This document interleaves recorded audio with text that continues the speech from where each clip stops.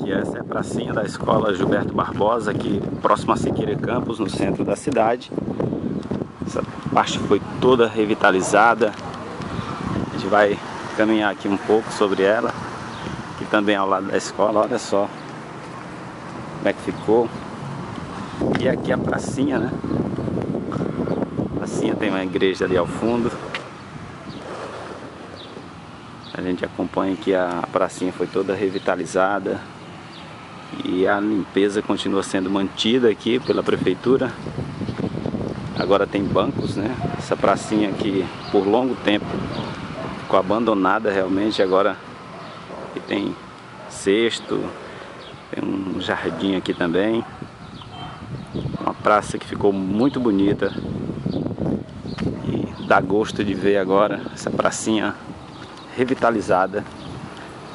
Olha só, dando uma caminhada aqui. Tem acessibilidade também agora.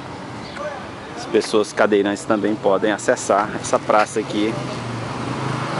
Na pracinha aqui do da Escola Gilberto Barbosa, né? Iluminação.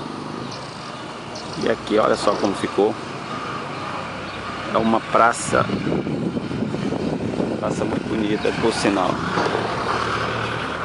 E aqui as pessoas têm, têm acesso, quem passa por aqui agora tem outra, outra visão, outra visibilidade dessa escola, dessa.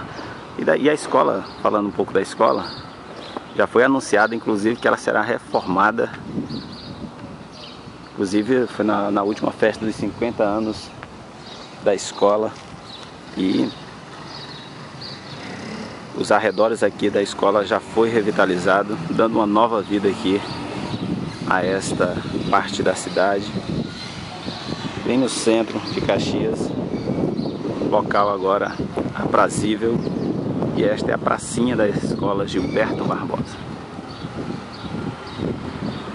Mais uma ação aí da Prefeitura Municipal de Caxias em parceria com as secretarias de infraestrutura e suas secretarias adjuntas, né? A exemplo, Secretaria de Limpeza, Secretaria de Urbanismo, por exemplo.